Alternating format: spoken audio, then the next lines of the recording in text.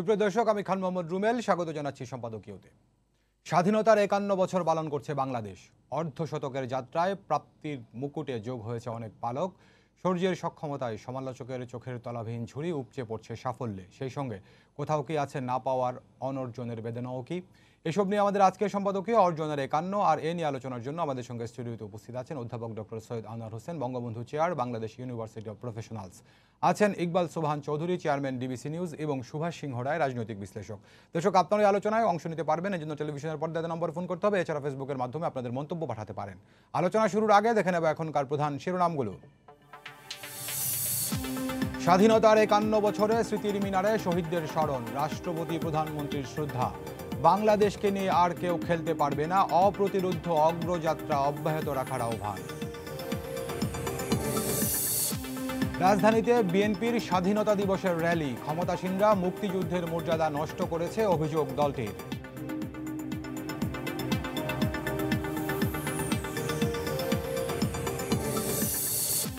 নতুন পদ্ধতিতে রেলের টিকিট দেওয়া শুরু হলেও নানা জটিলতায় ভোগান্তি। বাধ্য হয়ে স্টেশনে ভিড়।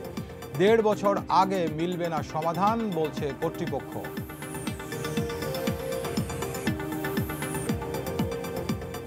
দর্শক, শিরোনাম দেখছিলেন, মূল আলোচনা যেতে চাই, বলছি আজকে আমরা আলোচনার শিরোনাম, অর্জনের একান্ন। বাংলাদেশ আজকে স্বাধীনতার একান্ন বছর পালন করছে। তো এই দীর্ঘ পঞ্চাশ বছরের যাত্রায় বাংলাদেশ অর্জন করেছে বেশি। কোথাও কোথাও অনর্জনের কিছু আছে কিনা, আক্ষেপের কিছু আছে কিনা, এসব নিয়েও আমরা আলোচনা করব। শুরুতেই স্যার আপনার সঙ্গে যুক্ত হতে চাই। স্যার, আমরা বলছি যে অর্জনের একান্ন। উনিশশো একাত্তর সালের ছাব্বিশে মার্চ যাত্রা স্বাধীনতা দিবস আমাদের, আজকে আমরা একান্ন বছর হয়েছে বাংলাদেশে। তো এই সময়টাতে যদি বলি, নানা জায়গায় আমাদের অনেক অগ্রগতি হয়েছে, অনেক অর্জন হয়েছে। তা আজকে থেকে অর্ধশতক আগে যখন আমরা যাত্রাটি শুরু করেছিলাম, পঞ্চাশ বছর পরে এসে সাফল্যের এই জায়গায় এসে আমরা দাঁড়াবো, কতজন ভাবতে পেরেছিলেন? ধন্যবাদ। একাত্তর তো আমাদের অর্জন দিয়ে শুরু। কারণ আমাদের যে মুক্তিযুদ্ধ আমি তুলনামূলক ইতিহাসের প্রেক্ষাপটে দেখতে পাচ্ছি এটা পৃথিবীর সবচাইতে সংক্ষিপ্ত মুক্তিযুদ্ধ। কারণ এটি ন মাস নয় আট মাস একুশ দিন হয়েছিল। এত সংক্ষিপ্ত সময় লড়াই করে কোনো জাতি স্বাধীন হয়নি। আরও একটি কথা এই যুদ্ধটি ছিল অসম যুদ্ধ যুদ্ধতত্ত্বের ইতিহাসে অসম যুদ্ধ নিয়ে অনেক কথা আছে, যেমন রাশিয়া ইউক্রেন যুদ্ধ চলছে। আমার মুক্তিযোদ্ধার আশি ভাগই ছিল কৃষক, শ্রমিক। শ্রমিক কম, কৃষক বেশি। আর আরও একটি ব্যাপার আছে, এই যুদ্ধটি ছিল অন্যায় যুদ্ধ।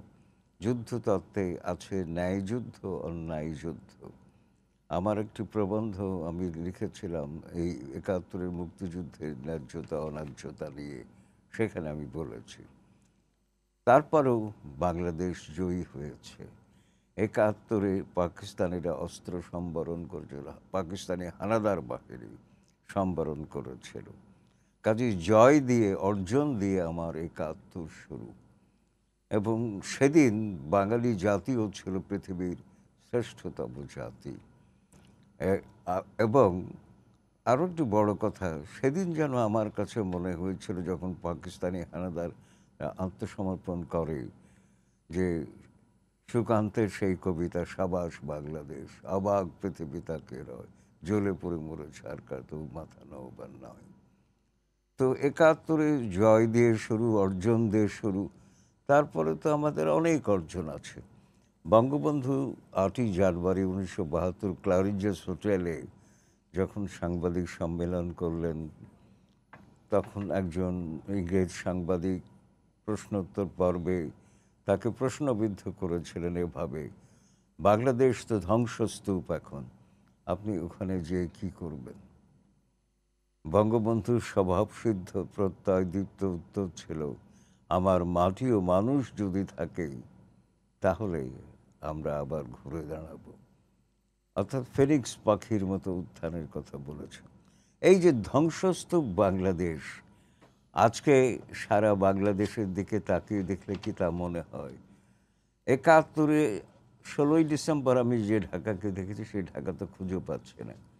কারণ আমরা ইতিহাস ভুলে যাই, ইতিহাস গুলে খাই, ইতিহাস বিকৃত করি। কোনোদিন আমি দেখলাম না ইতিহাসকে সংরক্ষণ করবার ব্যাপার। আজকেও কোথাও যেন একটা বক্তৃতায় বললাম যে এ- এই যে শাহবাগে বাংলাদেশ বেতার ছিল। এর একটা ইতিহাস আছে। এই শাহবাগে বেতার কর্মকর্তা কর্মচারীরা বিদ্রোহ করেছিলেন করেছিলেন বলেই আটই মার্চ আমরা বঙ্গবন্ধুর ভাষণ শুনেছি। এটা তো পিজিকে দেওয়ার বা যাকে বলি বিএসএম এম ইউ তাকে দেওয়ার কোনো কারণ নাই। এখানে বিশতলা দালান হতে পারতো। এখানেই বেতার থাকতে পারতো। আমি যদি মেট্রো রেল করতে পারি ঢাকায় তো এখানে বিশতলা দালান করতে পারব না কেন? মাটির যে অবস্থা আর কি। যাকে এগুলো বলে লাভ নাই। তো বাংলাদেশের আর একটি অর্জন যে বঙ্গবন্ধু মাত্র তিন হাজার একশো চোদ্দ দিন সময় পেয়েছিলেন। সেই সময় বঙ্গবন্ধু ওই যে ফিনিক্স পাখির মতো উত্থানের কথা নির্দেশ করেছিলেন সেভাবেই হয়েছিল। প্রায় সাত ভাগ ছিল প্রবৃদ্ধির হার এবং কিসিঞ্জার তো অভিসম্পাদ দিয়েছিলেন, বাংলাদেশ তলাবিহীন ঝুড়ি হবে। আবার উনিশশো ছিয়াত্তরে যদিও তার তথ্য উপাত্ত তিয়াত্তর থেকেই সংগ্রহ করা শুরু হয়েছিল যে- যে আর পার্কিনসন জাস্ট ফাল অ্যান্ড বাংলাদেশের টেস্ট কেস ফর ডেভেলপমেন্ট উনিশশো ছিয়াত্তরে প্রকাশিত বইতে তিনটি তির্যক মন্তব্য করলেন বাংলাদেশ সম্পর্কে। বাংলাদেশের উন্নয়ন যদি হয় বাংলাদেশের উন্নয়ন সম্ভব নয় এক যদি হয় দুশো বছর লাগবে আর বাংলাদেশের উন্নয়ন যদি হয় পৃথিবীর সব দেশে উন্নত হবে। সেই বাংলাদেশ দুশো বছর লাগবে বলেছে। দু হাজার ষোলোতে বিশ্ব ব্যাংকের প্রেসিডেন্ট বলছে বাংলাদেশ উন্নয়নের রোল মডেল উন্নয়ন রোমের স্যার এই জায়গাটাতে এই ভবিষ্যৎবাণীগুলো কীভাবে আমরা মিথ্যা প্রমাণ করলাম শক্তিটা কোথায় ছিল এটা পরের বার আমি জানব। ইকবাল ভাই আপনার সঙ্গে যুক্ত হতে চাই। স্যার একটা কথা বলছিলেন যে ছিল অসম যুদ্ধ এবং অন্যায় যুদ্ধ অর্থাৎ একটি যুদ্ধ আমাদের উপর চাপিয়ে দেওয়া হয়েছিল। তো এই অসম যুদ্ধে এবং চাপিয়ে দেওয়া একটা যুদ্ধে বাঙালি বিজয়ী হলো মূল মন্ত্রটা কী ছিল? ধন্যবাদ। ধন্যবাদ আপনাকে। আপনি নিজেই বলেছেন যে যুদ্ধটা আমাদের প্রত্যাশিত ছিল না। আমাদের কাম্যও ছিল না। জি। কারণ পাকিস্তানের সংবিধান অনুযায়ী সংখ্যাগরিষ্ঠ যে দল এবং সংখ্যাগরিষ্ঠ দলের যে নেতা তার কাছেই কিন্তু ক্ষমতা হস্তান্তর করাটা ছিল সাংবিধানিক দায়িত্ব। কিন্তু তারা পাকিস্তানি জানতা এবং সেই সময়কার সেখানকার রাজনীতিবিদ ভুট্টু তারা ষড়যন্ত্র করে বাঙালিদের নেতা এবং পাকিস্তানে নির্বাচনে সাংবিধানিকভাবে যিনি ক্ষমতার প্রাপ্য ছিলেন, তাকে ক্ষমতা দিলেন না। এই ক্ষমতা দিলেন না, এটা বঙ্গবন্ধুকে দিলেন না, তা নয় শুধু। বাঙালিদেরকে তাদের যে সাংবিধানিক অধিকার, সেটা থেকেই বঞ্চিত করলেন। সেই সময় আমরা স্বাধীনতা পেয়েছি বঙ্গবন্ধুর নেতৃত্বে। একটি ভাষণ দেখুন কীভাবে একটি জাতিকে জাগ্রত করে স্বাধীনতা অর্জনের পথে নিয়ে গিয়েছে। এটি কিন্তু বিশ্বের ইতিহাসে বিরল। একটি স্লোগান, সেই স্লোগান মানুষকে কীভাবে উদ্বুদ্ধ করেছে, অকাতরে প্রাণ দিয়েছে। এবং সেই সময়কার যে আমাদের প্রতিবেশী ভারত, মিসেস গান্ধী, তিনি সেই সময় সরকারে ছিলেন, প্রধানমন্ত্রী হিসেবে। তিনি আমাদেরকে যে সহযোগিতা করেছেন এবং ভারতের মানুষ, তারা শুধু বর্ডার খুলে দেয়নি, তারা তাদের ঘর খুলে দিয়েছিল, এক কোটি উদ্বাস্তুদের। পরবর্তীতে আমাদের মুক্তিযোদ্ধাদের সাথে ভারতের সেনাবাহিনীও কিন্তু বুকে রক্ত দিয়ে আমাদের স্বাধীনতাকে নিরঙ্কুশ করেছে। এবং আরেকটি, সেই সময়কার আন্তর্জাতিক যে পরিবেশ ছিল, অর্থাৎ তখন বাইপোলার ওয়ার্ল্ড ছিল, সেই বাইপোলার ওয়ার্ল্ডে একদিকে মার্কিন যুক্তরাষ্ট্র এবং পশ্চিমা দেশসমূহ, অন্যদিকে সোভিয়েত ইউনিয়ন এবং সাম্রাজ্য সমাজতান্ত্রিক রাষ্ট্রসমূহ। এবং দেখুন, সেই সময়ে যখন শেষের দিকে এসে পাকিস্তানের পক্ষে যখন যুক্তরাষ্ট্র এবং অন্যান্যরা জাতিসংঘের সিকিউরিটি কাউন্সিলে যুদ্ধবিরতির প্রস্তাব এনেছিলেন, রাশিয়ার সেই দিনের, রাশিয়া মানে সেদিনের সোভিয়েত ইউনিয়ন, সেই সোভিয়েত ইউনিয়নের ভেটো সেই যুদ্ধবিরতিকে নাকচ করে দিল। এবং সেই যুদ্ধবিরতি নাকচ করার কারণের জন্যই কিন্তু আজকে আমরা স্বাধীন হতে পেরেছি। না হলে দেখা যেত আমাদের এই দীর্ঘ মুক্তিযুদ্ধ দীর্ঘদিন প্রলম্বিত হতো এবং ইতিহাস কী হতো আমরা জানি না। তাই সার্বিকভাবে যদি বলি যে নেতা হয়েছিলেন বঙ্গবন্ধু, আর পাশে ছিলেন ভারত শ্রীমতী ইন্দিরা গান্ধী, আর আন্তর্জাতিকভাবে ছিল সেই সময়ের সোভিয়েত ইউনিয়ন। আর যদি বলি এদেশের মানুষ ঐক্যবদ্ধ ছিল এই সব কিছু মিলিয়ে আমরা সেই দিন মুক্তিযুদ্ধে জয়লাভ করতে পেরেছিলাম। আরেকটি কথা যেটি, সেটি হলো পাকিস্তান সেনাবাহিনী, সুসজ্জিত সেনাবাহিনী পাকিস্তানের, তারা কেন পরাজিত হলো? কারণ এই যুদ্ধে তারা ছিল আমাদের শুধু শত্রু নয়। এই যুদ্ধে তারা যে অপারেশন সার্চ লাইটের নামে এখানে যে গণহত্যা, অগ্নিসংযোগ এবং ধর্ষণ, গণধর্ষণ শুরু করেছিল। তারই পরিণতি হয়েছে এদেশের মানুষকে কিন্তু আরও বেশি পাকিস্তানের বিরুদ্ধে ঐক্যবদ্ধ করেছে এবং দেশকে স্বাধীন করার জন্য যেটি বঙ্গবন্ধু তার সাতই মার্চের ভাষণে বলেছিলেন, যার যা কিছু আছে তাই নিয়ে রুখে দাঁড়াতে হবে। এবং আমি মনে করি যে এই সময়কার যে পরিবেশ, আন্তর্জাতিক পরিবেশ এবং আমাদের প্রতিবেশী ভারতের যে সহযোগিতা এবং সর্বোপরি আমাদের জাতির জনকের যে অবিসংবাদিত নেতৃত্ব এই সব কিছু মিলিয়ে আমাদের স্বাধীনতা এসছে। এবং জাতির জনক দেখুন তিনি আমাদেরকে দুটি জিনিস উপহার দিয়েছেন।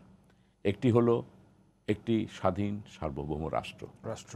আরেকটি তিনি দিয়েছেন আমাদেরকে বাঙালি জাতীয়তাবোধ বা বাঙালি জাতি পরিচিতি। বহু বাঙালি বাংলা ভাষাভাষী আছে কিন্তু। কিন্তু তারা জাতি হতে পারেনি। আমরা কিন্তু বাংলাদেশ শুধু একটি স্বাধীন সার্বভৌম রাষ্ট্রের নাগরিক বটে পাশাপাশি কিন্তু আমরা বাঙালি জাতি। ধন্যবাদ। সুভাষ দা আমাদের ইকবাল ভাই যেটি বলছিলেন যে একজন অবিসংবাদিত নেতা যার নেতৃত্বে আমরা একটি স্বাধীন সার্বভৌম রাষ্ট্র পেলাম এবং জাতি হিসাবে সারা পৃথিবীতে একটা পরিচিতি পেলাম। কিন্তু আজকে পঞ্চাশ বছর, একান্ন বছর বয়সী বাংলাদেশে আমরা নানান অর্জনের কথা বলছি। কিন্তু যিনি একটি দেশ অর্জন করলেন, যার নেতৃত্বে বাঙালি জাতি একটি স্বাধীন দেশ পেল, তাকে যদি আমরা আরও কিছুটা সময় দিতে পারতাম, নৃশংস, মর্মান্তিক সেই ঘটনা যদি পনেরোই আগস্টে না ঘটতো, আজকে আমরা যে অর্জনের জায়গাতে দাঁড়িয়ে আছি, সেটি তো আমরা আগেই অর্জন করতে পারতাম কিনা?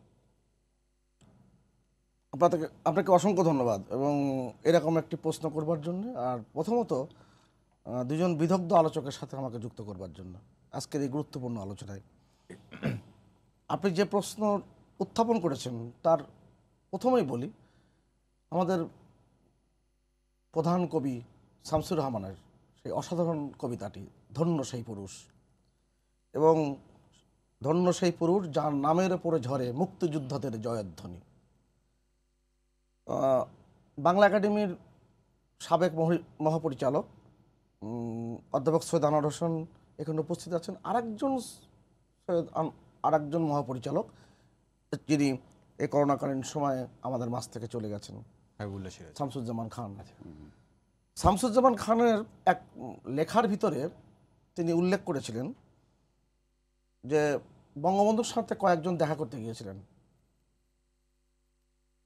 তার মধ্যে তৎকালীন বাংলা একাডেমির মহাপরিচালক ডক্টর মাজহারুল ইসলাম, সাংবাদিক সন্তোষ গুপ্ত, রাহাত খান আর শামসুজ্জামান খান, আরও দুই একজন। বঙ্গবন্ধুকে জিজ্ঞেস করা হয়েছিল যে আপনি পাকিস্তানিদের হাতে ধরা দিলেন কেন? এবং আপনি তো গ্রেপ্তার এড়াতে পারতেন। তখন সেখানে একটা বিশদ ব্যাখ্যা বঙ্গবন্ধু দিয়েছিলেন তাদেরকে। চমৎকার একটি ব্যাখ্যা। এবং কীভাবে স্বাধীনতা যুদ্ধের প্রস্তুতি নেওয়া হয়েছে, কীভাবে তিনি তার প্রস্তুতির জন্য সব জায়গায় আয়োজন করে রেখেছেন, পুরোটাই তিনি বর্ণনা করেছিলেন। তার আপনার এই অল্প সময়ের মধ্যে পুরোটা আমি ব্যাখ্যা নাইবা করলাম, অনেক পাঠক এটা দেখেছে আমার ধারণা। আমি একটা কথা খুব স্পষ্ট করে বলি। বঙ্গবন্ধু যখন পঁচিশে মার্চে খেয়াল করেছিলেন, আমার ধারণা সেটা কেন এখনকার ইতিহাসটা বেরিয়ে আসছে। যে দ্বিতীয় মহাযুদ্ধের সময় যেটা তৈরি করা হয়েছিল যুদ্ধের জন্য, M one one three PC, অর্থাৎ এপিসি বলা হয় থাকে সেই এপিসি তৈরি হয়েছিল যে কোনো জায়গায় এই যানবাহনটি চলতে পারে, এস সমর যানবাহন। পানিতে চলতে পারে, রাস্তায় চলতে পারে, এক গর্তের মধ্যে চলতে পারে, সেটা বঙ্গবন্ধুর বাড়ির আশপাশে এসেছিল। অর্থাৎ এর থেকে বোঝা যায় যে পাকিস্তানিরা, যেটা ইকবাল সফাল চৌধুরী বললেন, অধ্যাপক সৈদান হোসেন বললেন, যে অসম যুদ্ধে কীভাবে তারা আমাদেরকে বাধ্য করেছিল। সেই জায়গায় বাংলাদেশের এখনকার যে একান্ন বছর, আমাদের যে অর্জন, এই অর্জন বিস্ময়কর। কিন্তু এইটুকু বলে রাখি, এই অর্জন আরও হতে পারত। আমরা অত অনেক দূর যেতে পারতাম। যদি এই একান্ন বছরের ভিতরে প্রায় তিরিশ বছরে বাংলাদেশ বিরোধী শক্তি ঘুরে ফিরে ক্ষমতায় না থাকতো। বা স্বাধীনতা বিরোধী শক্তি। সেটাই আমি বলছি। এবং খেয়াল করে দেখবেন অধ্যাপক সৈদানুর হোসেন যে জায়গায় উল্লেখ করেছেন বঙ্গবন্ধু উনিশশো বাহাত্তর সালে আটই জানুয়ারি লন্ডনে হিথ্রো বিমানবন্দরে নামার পর থেকে তিনি যে বাংলাদেশ নির্মাণের যাত্রা শুরু করেছেন এমনকি তিনি কথা বলার সময় এমনও বলছেন যে আপনাদের ব্রিটিশদেরও দায় রয়েছে। কেন এই আমার বাংলা এই সোনার বাংলা এই যে সম্পদ ছিল সেই সম্পদ যেভাবে লুণ্ঠন করা হয়েছে সেখানে আপনাদের পূর্বপুরুষদের ভূমিকা ছিল? অতএব আপনাদেরও দায় রয়েছে এই বাংলাদেশ পুনর্নির্মাণে নির্মাণে অংশগ্রহণ করবার। তার আমার সোজা কথা তিনি কত চমৎকার করে বলতে পারতেন এবং তিনি রেখে ঢেকে বলতেন না। আজকের বাংলাদেশে আমরা এমন একটি দেশে এসে দাঁড়িয়েছি, যেটা এখন সমীহর নাম। সমৃদ্ধির অগ্রযাত্রায় বাংলাদেশ গিয়েছে। এখন আমাদের করণীয় কি? আমাদের এখন আরও কাজ করবার সময়। এখন আমাদের এই স্বাধীনতা যুদ্ধের যে আমাদের যে অবিনাশী চেতনা, মুক্তিযুদ্ধের যে চেতনা, সেই চেতনাকে ধারণ করে নতুন প্রজন্মকে দীক্ষিত করা প্রয়োজন। এবং তারা যেন আর কখনো ভুলের ফাঁদে না পড়ে। জি। এবং কোনোভাবেই বাংলাদেশ বিরোধী শক্তি যেন কখনো বাংলাদেশের রাষ্ট্রীয় ক্ষমতায় না আসতে পারে। সে তার জন্য বেশি প্রয়োজন। বেশি দায়িত্ব হচ্ছে যেই সরকারটি এখন সরকার পরিচালনার দায়িত্বে আছে যে রাজনৈতিক দলটি রয়েছে সেই রাজনৈতিক দলকে অনেক সতর্ক হতে হবে। অনেকখানি বুঝে শুনে অনেককে বিশেষ করে তার কর্মীদেরকে পুনর্জীবিত করতে হবে এবং বঙ্গবন্ধু উনিশশো চুয়াত্তর সালের আঠারোই জানুয়ারি আওয়ামী লীগের দ্বিবার্ষিক কাউন্সিলে অসাধারণ একটি বক্তৃতা দিয়েছিলেন। সৈয়দ আনোয়ার হোসেনের অনেক লেখার মধ্যে এই উনিশশো চুয়াত্তরে আঠারো জানুয়ারির বক্তৃতার অংশ থাকে এবং তিনি সে কথা উল্লেখ করেন। বঙ্গবন্ধু বলেছিলেন, প্রয়োজন হচ্ছে চারটি বিষয়, একটা হচ্ছে নেতৃত্ব একটা হচ্ছে ম্যানিফেস্টো বা আদর্শ আর একটা হচ্ছে নিঃস্বার্থ কর্মী এবং সংগঠন। এই চারটি বিষয়ের উপরে যদি বর্তমান আওয়ামী লীগ যদি জোর না দেয়, তাহলে আমাদের যে শেখ হাসিনার নেতৃত্বে যে সমৃদ্ধির অগ্রযাত্রায় বাংলাদেশ পৌঁছে গেছে, সেটাকে আগামী পঞ্চাশ বছর, একশো বছরে যদি সেই কাঙ্ক্ষিত লক্ষ্যে যদি নিয়ে যেতে হয়, তাহলে এই চারটি বিষয়ের দিকে নজর দিতে হবে আওয়ামী লীগকে। দাদা, অনেক ধন্যবাদ আপনাকে। স্যার, এর আগে যে জায়গাটিতে আপনি আলোচনাটি করছিলেন যে অনেকেই ভবিষ্যৎবাণী করেছিলেন, আপনি বলছিলেন যে দুশো বছর লাগবে, এরকম কথাও কেউ কেউ বলেছিলেন। কিন্তু সেই ভবিষ্যৎবাণীগুলো মিথ্যা প্রমাণ করে বাংলাদেশ যে এগিয়ে গেল, অর্জনের জায়গায় অনেক সাফল্য যুক্ত হলো, তার মোহিনী শক্তিটি কি? আপনার কাছে কি মনে হয়? ধন্যবাদ। অর্থনীতিবিদ বা উন্নয়ন বিশারদ যারা, তাদের সব ভবিষ্যৎবাণী মিথ্যা প্রমাণ করে বাংলাদেশ এগোচ্ছে। এখন কেন এগোচ্ছে প্রশ্নের উত্তর যদি দিই, তাহলে আমি বলব নেতৃত্বের দিক নির্দেশনা এবং জনগণের সহযোগিতা। আমি কিন্তু নেতৃত্ব বলতে এক বা গুটি কতক মানুষের ভূমিকা বুঝা বুঝি না। নেতৃত্ব সম্পর্কে আমি যতটুকু যত সামান্য পড়াশোনা করেছি, আমি দেখেছি যে নেতৃত্ব মানেই হচ্ছে একজন বা একাধিক মানুষ থাকবেন, দিক নির্দেশনা দেবেন, কিন্তু তার অনুসারী থাকতে হবে। অনুসারী না থাকলে নেতৃত্ব হয় না। বঙ্গবন্ধু ডাক দিয়েছিলেন স্বাধীনতার। কারণ ষোলোই আগস্ট উনিশশো সাতচল্লিশ প্রথম বাংলাদেশ স্বাধীনতার স্বপ্নটি নিজে ধারণ করেন তিনি। কলকাতার ভবানীপুরে সিরাজউদ্দৌলা হোস্টেলে পূর্ব বাংলার কজন প্রগতি মনস্ক তরুণকে নিয়ে আলোচনা করছিলেন, পাকিস্তান পরবর্তী উদ্ভূত পরিস্থিতি নিয়ে। সেখানে তিনি মেঠো বাংলায় গোপালগঞ্জের উচ্চারণে বলেছিলেন, মিয়ারা ঢাকায় যাইবেন না, ওই মাওলাদের সঙ্গে বেশি দিন থাকা যাইব না, এখন থেকে কাম শুরু করতে হইব। এই যে স্বপ্নটা নিজে ধারণ করলেন স্বাধীনতা যার রূপায়ণ তিনি ছাব্বিশে মার্চ রাত বারোটা কুড়ি মিনিটে ওয়াইল্ডসে তার বার্তা রেকর্ড করলেন। সম্ভবত ইহাই আমার শেষ বার্তা। আজ হয়তো বাংলাদেশ স্বাধীন। তো একজন মানুষের জীবনে স্বপ্ন দেখা সেই স্বপ্নের রূপায়ণ দৃষ্টান্ত খুবই কম আছে কিন্তু বঙ্গবন্ধুর জীবনে আছে। এবং আরেকটি কথা আমি বলি সেটা হচ্ছে আমি নেতৃত্বের সম্পর্কে যৎসামান্য কিছু পড়ে দেখেছি যে বঙ্গবন্ধু একমাত্র নেতা যার মধ্যে এক্সট্রা সেন্সরি পারসেপশন বা ইএসপি সবচেয়ে বেশি ছিল। বাংলায় যাকে বলা হয় অতীন্দ্রিয় অনুভূতি অনেক দূরের সামনে জিনিসকে দেখতে পাওয়া। সাতচল্লিশে তিনি দেখেছিলেন বাংলাদেশের সম্ভাবনার কথা আর কি। এবং অসংখ্য দৃষ্টান্ত আছে যে এটা নিয়েই তো একটা পিএইচডি অভিসন্দর্ভ হতে পারে, বঙ্গবন্ধুর অতীন্দ্রিয় অনুভূতি এক্সট্রা সেন্সরি পারসেপশন আপনি দেখুন যে এই অর্জনটা তিনি যে করলেন, তিনি তো ক্লারিজেস হোটেলেই বলে দিলেন, আমরা উঠে দাঁড়াবো।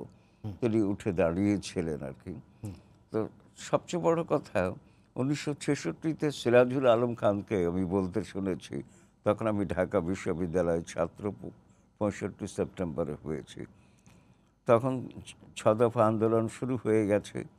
সিরাজুল ইসলাম খান বললে আলম খান বললেন যে, তোরা মনে রাখবি, শেখ মুজিবের নেতৃত্বে দেশ স্বাধীন করতে হবে। কারণ লোকে তার কথা শোনে।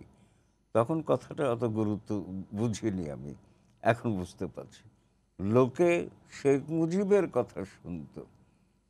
লোকে সর্বাধির কথাও শুনতো, ভাসানির কথাও শুনতো, শেরে বাংলার কথাও শুনতো। কিন্তু শেখ মুজিবের কথা বেশি শুনতো। এই জন্য শেখ মুজিব তাদের ভাষায় কথা বলতেন, তাদের দৃষ্টিভঙ্গিতে চিন্তা করতেন।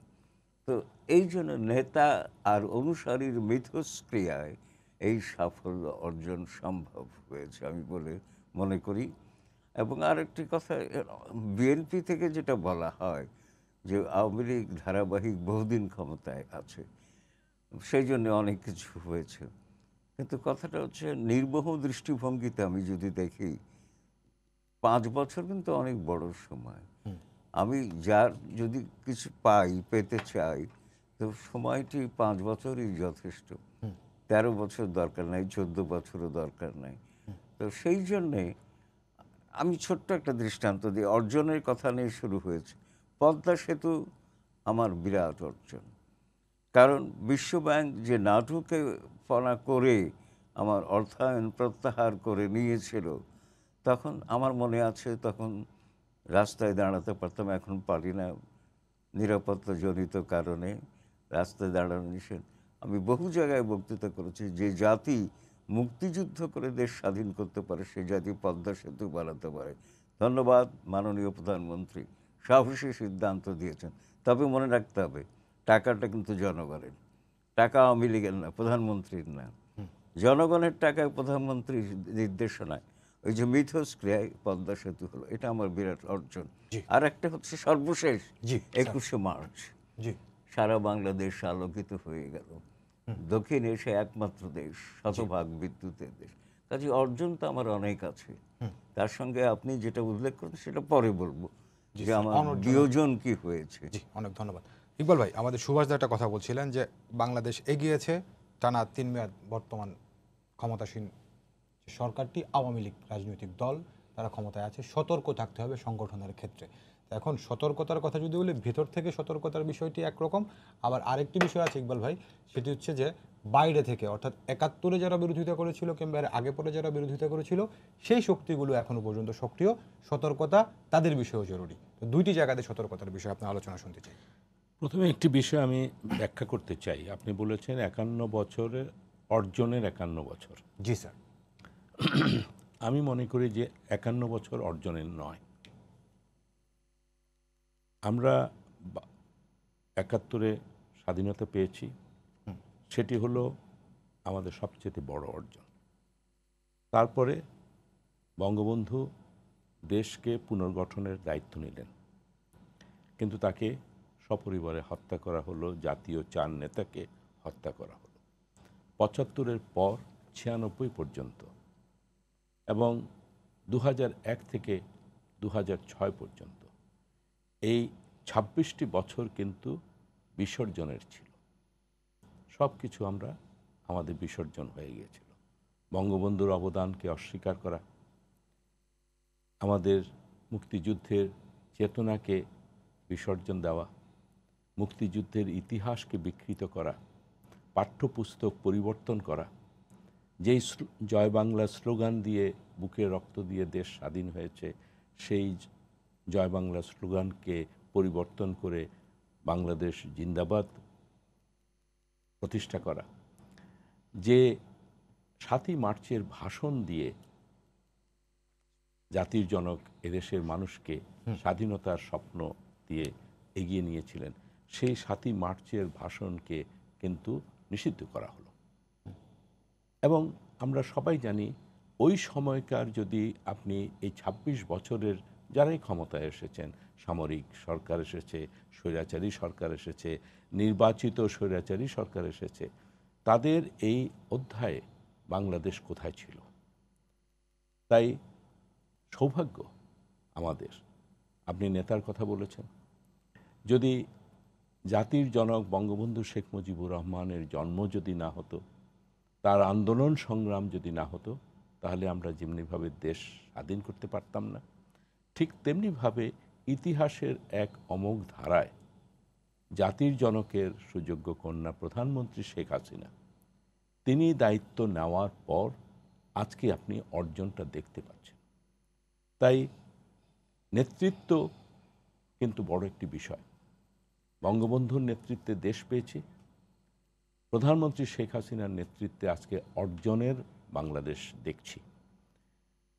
এই যে অর্জনটি এটিও কিন্তু একেবারে যে সমান্তরাল পথে হয়েছে তা নয়। বারবার বাধাগ্রস্ত হয়েছে। তাকে প্রধানমন্ত্রী শেখ হাসিনাকে হত্যা করার জন্য তো অন্তত বিশ একুশ বার চেষ্টা করা চেষ্টা করা হয়েছে। এবং আপনি যদি বলেন যে আমাদের বৈদেশিক শক্তি কিছু দেশের ভিতরের কিছু শক্তি তারা সবাই কিন্তু এই উন্নয়নের পথে যেন বাংলাদেশ না যেতে পারে। যেমন সৈয়দ আনোয়ার হোসেন বলেছেন যে পদ্মা সেতু যে পদ্মা সেতু আপনি দেখুন যে পদ্মা সেতুর প্ল্যানই তখন হয় নাই মা- আম, বিশ্ব ব্যাংক বলে দিল এখানে দুর্নীতি। সাহস করেছেন প্রধানমন্ত্রী শেখ হাসিনা।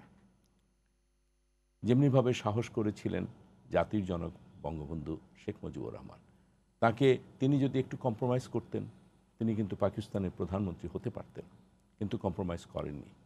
প্রধানমন্ত্রী শেখ হাসিনাও যদি একটু কম্প্রোমাইজ করতেন, তাহলে কিন্তু বিশ্ব ব্যাংকের অর্থায়নও নিতে পারতেন। কিন্তু তিনি সাহস করে করেছেন। আজকে আমরা সবাই বলি যে এটা সম্ভব হয়েছে। কিন্তু সেই দিনের সাহসের কথা চিন্তা করে দেখুন। ইভেন তার মন- মন্ত্রী পরিষদের যারা ছিলেন, তারা অনেকে বলেছেন যে বিশ্ব ব্যাংকের সাথে আমাদের একটু বৈরিতা যাওয়া সম্ভব না। কারণ বিশ্ব ব্যাংক আমাদের অনেক উন্নয়নমূলক কর্মকাণ্ডের সাথে জড়িত। আজকে এই সাহসটি নিয়েছিলেন বলেই আমরা অর্জনের পথ দেখছি। এবং আমি এখানে যেমনিভাবে এই দেশ স্বাধীন হতো না বঙ্গবন্ধু ছাড়া জি। আপনি যে অর্জনের কথা বলেছেন সে অর্জন সম্ভব হতো না যদি প্রধানমন্ত্রী শেখ হাসিনা না হতো। দুটো কথা বলে শেষ করি। জি। যেমন ধরুন আজকে আমরা আমাদের জাতির জনকের শততম জন্মবার্ষিকী পালন করেছি। এখনও করছি। আমাদের সুবর্ণ জয়ন্তী আমাদের স্বাধীনতার সুবর্ণ জয়ন্তী আমরা পালন করছি। ধরুন যদি এই সময় যদি প্রধানমন্ত্রী শেখ হাসিনা দায়িত্বে না থাকতেন যেটি সুভাষ সিংহ রায় বলল যে যদি আওয়ামী লীগ যে আওয়ামী লীগ দেশ স্বাধীন করেছে সেই দলটি যদি ক্ষমতায় না থাকতো তাহলে কীভাবে পালিত হতো এই সুবর্ণ জয়ন্তী আর জাতির জনকের শততম জন্মবার্ষিকী? তাই ইতিহাসের পাতায় যদি আপনি কথা বলতে হয় তাহলে আপনাকে অবশ্যই বলতে হবে, এই দেশ স্বাধীন হয়েছে বঙ্গবন্ধুর নেতৃত্বে এবং সাহসিকতা। আর আজকের আপনার যে অর্জনের কথা আপনি বলছেন, সে অর্জনটি সম্ভব হয়েছে প্রধানমন্ত্রী শেখ হাসিনার নেতৃত্বে এবং তার সাহসিকতায়। ধন্যবাদ।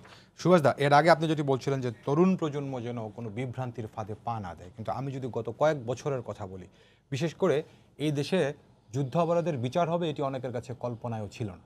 সেটি এই দেশে বাস্তব। এবং এই যুদ্ধ অপরাধের বিচার প্রসঙ্গে যদি আপনি আসেন তরুণ প্রজন্মের মধ্যে দেখবেন যে এটি নিয়ে একটি অকুণ্ঠ সমর্থন ছিল কোনো ধরনের কোনো দ্বিধা ছিল না। যুদ্ধ অপরাধের বিচার হবে কি হবে না এই যে একটা দ্বিধার কথা আমি বলছি এটি কখনো কখনো বয়স্কদের মধ্যে ছিল। কিন্তু তরুণ প্রজন্ম কিন্তু এই জায়গাটিতে একেবারেই পরিষ্কার। তার মানে এই তরুণ প্রজন্ম কখনো কোনো ফাঁদে পা দেবে না সেই আশা তো আমরা করতেই পারি। আমি আপনাকে একটা দু একটা ছোট ছোট তথ্য দিই। কারণ অনুষ্ঠানের প্রায় শেষ পর্যায়ে আমার ধারণা। জি। উনিশশো বিরানব্বই সালে প্রবার্তা সংস্থা একটি জরিপ করেছিল এবং বিশটা প্রশ্ন দিয়েছিল। ঢাকা শহরে প্রায় দেড়শো থেকে পনেরো দুশো স্কুল কলেজের ছাত্রছাত্রীদের ভিতরে। খুব সাধারণ সামান্য প্রশ্ন ছিল বিজয় দিবস কয় তারিখে স্বাধীনতা দিবস কয় তারিখে আমাদের বীর শ্রেষ্ঠ কারা কারা এটা স্বাধীনতা সম্পর্কিত প্রশ্ন। তখন প্রায় অষ্টআশি শতাংশ ছাত্রছাত্রী কোনো প্রশ্নের উত্তর দিতে পারেনি। আপনি যে তরুণ প্রজন্মের কথা বলছেন তার মানে তরুণ প্রজন্মকে ইতিহাসকে ভুলিয়ে দেবার জন্য যা চক্রান্ত সব কিন্তু করা হয়েছে। করা হয়েছে। এখন সেই জায়গায় কিন্তু অগ্রগতি সাধিত হয়েছে। আপনি যেটা বললেন আজকে তরুণ প্রজন্মর উদ্দেশ্যে মাননীয় প্রধানমন্ত্রী তার দুই সাল নির্বাচন ইস্তেহার উৎসর্গ করেছিলেন। এবং তরুণ প্রজন্ম যে জেগে ওঠা এবং ইতিহাস সচেতন হওয়া আমাদের পূর্বপুরুষরা কি ত্যাগ স্বীকার করেছে? সেটা জানতে পারা এই পরিবেশটা কিন্তু এই সরকারের কারণে কিন্তু তৈরি হয়েছে। এবং সেটা কিন্তু গুরুত্বপূর্ণ একটা অর্জন। যে কারণে আবার ঝুঁকিটাও থেকে যায়। থেকে যায় কারণে বিশ্বব্যাংক যখন নানান ষড়যন্ত্রের ফাঁদে অনেককে ফেলবার চেষ্টা করেছেন, সেই সময় আমাদের দেশে অনেক জ্ঞানী গুণীজন বড় বড় সংস্থা তারা বলেছিল যে এইটার সাথে এই দুর্নীতির সাথে সরকারের উচ্চমহল জড়িত। কিন্তু কানাডার আদালত যখন বলে দিল যে কোনো প্রকার দুর্নীতি হয়নি দুর্নীতির সুযোগ নাই তখন কিন্তু তারা কিন্তু চুপ করে থাকল। কিন্তু তাদের যে অপরাধটা এখনও পর্যন্ত স্বীকার করেনি। আমাকে আপনাকে আমি আর একটা তথ্য দিই। পঁচিশে মার্চের রাত্রে উনিশশো একাত্তর সালের তার আগেই বঙ্গবন্ধুর দুই কন্যা বিশেষ করে তার জ্যেষ্ঠ কন্যা এবং ডক্টর ওয়াজেদ প্রধানমন্ত্রীর স্বামী। তাদেরকে ধানমন্ডির আটের এর একশো সাতাত্তর নম্বর বাড়িতে আগে বেগম মুজিব পৌঁছে দিয়েছিল বাড়ি ভাড়া করে। হুম। তথ্যগুলো খুব জরুরি। আবার বারোই মেতে যখন মগবাজারের একটি বাড়ির থেকে যখন পাখানাদার বাহিনী সবাইকে গ্রেপ্তার করে নিয়ে এসে ধানমন্ডির এখনকার নয়েরে অর্থাৎ পূর্বের আঠারো নম্বর বাড়ি ছাব্বিশ নম্বর বাড়ি থেকে রোডের বাড়ি থেকে যখন উদ্ধার করা হয় তখন ওই জায়গায় কিন্তু ফিরিয়ে আনে। এই নয়েরের এই মানে এখনকার নয়েরে আগের আঠারো নম্বর বাড়ি রোডের ছাব্বিশ নম্বর বাড়ি। এবং বেগম মুজিবকে কিন্তু ওই বাড়িতে আজকের প্রধানমন্ত্রী সহ শেখ রেহানা সহ শেখ রাসেল সহ পাকিস্তানিদের হাতে বন্দি ছিল। হুম। আমরা কিন্তু বিজয় উৎসবে মেটে উঠেছে ষোলো ডিসেম্বরে। কিন্তু চব্বিশ ঘণ্টা অতিক্রম হয়েছে তারা কিন্তু ওই বন্দি থেকে মুক্তি পায়নি। ভারতের একজন আমাদের মুক্তি বাহিনীর সেই বীর সন্তান মেজর অশোক তারা সে জীবনের ঝুঁকি নিয়ে তাদেরকে উদ্ধার করে। আমি বলছি কারণে বঙ্গবন্ধুর সহধর্মিনী যখন জানতে পেরেছে, চৌঠা জানুয়ারি, মূলত চৌঠা জানুয়ারি জানতে পেরেছে বঙ্গবন্ধু মুক্তি হয়েছে এবং তিনি দেশে ফিরে আসবেন। তার জন্যে তিনি ওই নয়ের এর অর্থাৎ আঠারো নম্বর রোডের, আগের আঠারো নম্বর রোডের যে বাড়িটিতে ছিলেন, তার তিনটে বাড়ি এ পাশে, অর্থাৎ তেইশ নম্বর বাড়িটি বঙ্গবন্ধুর জন্য ভাড়া করে রাখেন। বলছি কারণে, বেগম মুজিব কিন্তু জানতেন, বঙ্গবন্ধু বত্রিশ নম্বরে উঠতে পারবেন না। ঠিক ঠিক তাই বত্রিশ নম্বর ছিল ধ্বংসস্তূপ। আজকের প্রজন্ম অনেকেরই জানা নেই বঙ্গবন্ধু উনিশশো বাহাত্তর সালের আটই জানুয়ারির থেকে কিন্তু তার স্বদেশ নির্মাণ শুরু করেছেন। এক মুহূর্ত থেমে থাকেননি। তিনি এই বত্রিশ নম্বর বাড়িতে উঠেছেন উনিশশো বাহাত্তর সালে আঠাশে ফেব্রুয়ারি। শেষ করব। অর্থাৎ এই কারণে বলছি আমাদের পূর্বপুরুষরা যে ত্যাগ স্বীকার করেছে বঙ্গবন্ধুর পরিবারের সদস্যরা ত্যাগ স্বীকার করেছে এগুলো আজকের প্রজন্মের কাছে জানানো প্রয়োজন। এটাই বলবার চেষ্টা করেছি। কেননা ইতিহাস যত সচেতন হবে যত জানতে পারবে তাদের ত্যাগের মহিমা তত বেশি তারা কিন্তু স্বদেশ প্রেম উজ্জীবিত হবে। কারণ দেশে জন্মালে কিন্তু দেশ আপন হয় না। দেশকে ভালোবাসতে হয়। স্যার আপনি শেষ কথা কিছু বলবেন? তিরিশ সেকেন্ড সময় দিতে পারবেন আমরা এগিয়েছি অনেক প্রবৃদ্ধি হয়েছে অনেক সারা বিশ্বকে তাক লাগিয়ে দিয়েছি। তবে আমাদের নৈতিক আদর্শিক বিচ্যুতি অবক্ষয় অনেক। এদিকে নজর দিতে হবে। সুভাষ সিংহ রায় যে সতর্ক বাণী উচ্চারণ করেছে সেটা বঙ্গবন্ধুর ভাষায় বলি। বঙ্গবন্ধু মাঝে মধ্যেই তার নেতা কর্মীদের বলতেন আত্মসমালোচনা করুন আত্মসংযম করুন আত্মশুদ্ধি করুন। বর্তমান নেতৃত্বের কাছে আমার এই আবেদন। আমাদের জাতির পিতা সাতই মার্চের ভাষণে দুটি কথা বলেছেন ঘোষণা দিয়েছিলেন। খুব এবারের সংগ্রাম আমাদের মুক্তির সংগ্রাম। এবারের সংগ্রাম স্বাধীনতার সংগ্রাম। জি। তিনি তার জীবদ্দশায় দ্বিতীয় ঘোষণাটি বাস্তবায়ন করে গিয়েছিলেন। কিন্তু প্রথম যে ঘোষণাটি সেটি তাকে বাস্তবায়িত করতে দেওয়া হয়নি। আজকে সৌভাগ্যের বিষয় যে তারই সুযোগ্য কন্যা তার বাবার দেয়া সেই ঘোষণা আমাদের জাতির পিতার দেয়া ঘোষণা আমাদের এবারের সংগ্রাম আমাদের মুক্তির সংগ্রাম সেই মুক্তির সংগ্রামটি তিনি শুরু করেছেন।